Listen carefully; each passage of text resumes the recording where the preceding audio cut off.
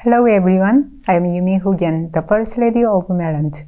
This week we are proud to celebrate National Apprenticeship Week. The first time in Maryland history, our state now has over 11,000 apprentices.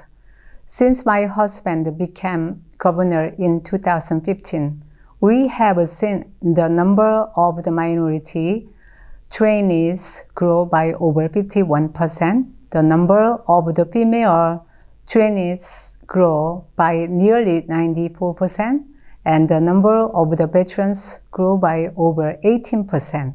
Since the program's creation, apprenticeship, Maryland has grown to 16 of the state's 24 local public school systems. Maryland has also focused on building stronger career pathways for the high school, junior, and seniors over the next two years.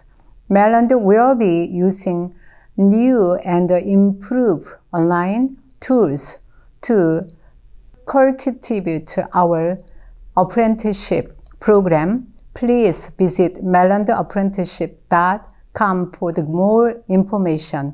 Thank you to our program sponsors and the businesses partners for your continued support.